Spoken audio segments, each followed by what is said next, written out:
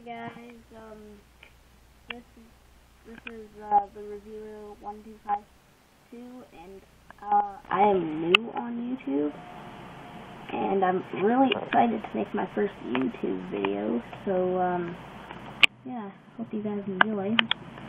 Anyways, I have a Transformers 4 Age of Extinction set here for you guys, and just cause, by the way, just cause my name is the reviewer. I don't just review, I also will do customs and how to make. So yeah. Yeah, this is a really cool set because it comes with Grimlock, uh, Golden Knight Optimus Prime, and two Vehicons. And then a little thing right here.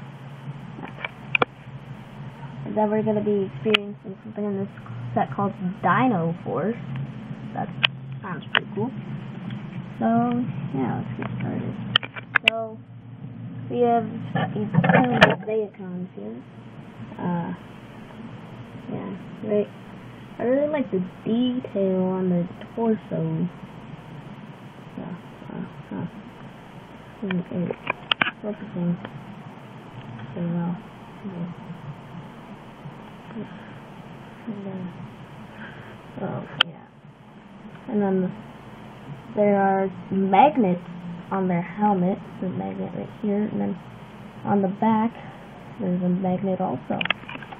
And that goes for both of the Vehicons. So, that is involved with our Dino Force, I'm guessing. And then we have oh, Optimus Prime, who's really really cool. He just, he's just awesome. And there's a golden sphere. It looks pretty cool. I would, in this set, I would have preferred the real Optimus Prime, like red and blue, and then with his sword, but I guess this is cool too. He has nice detail. I like the helmet. Yeah, this is really nice. Okay, and then let's get to the big guy. Grimlock. Now, this guy is technically the main reason I actually wanted this set. This is really cool. And you just how something with tail. You like push it out, and then it like can clip back in, out. Oh, shoot. Sorry there. But yeah, very very cool stuff. So yeah, and I like how the guns can like. I just keep breaking this up. The guns can like move up and down, and then there's like little feet for Optimus Prime, and there's these mini guns on his hands, which is really nice. I like the detail on his face and that his jaw can go up and down go down further. Uh, yeah. That's just awesome. So yeah, that's big guy. uh,